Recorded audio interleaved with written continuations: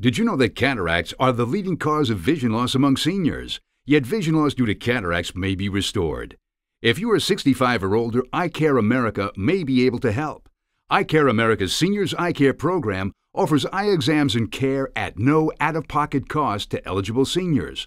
Call 1 800 222 EYES to see if you qualify for a no cost eye exam. That's 1 800 222 3937 or visit eyecareamerica.org for more information.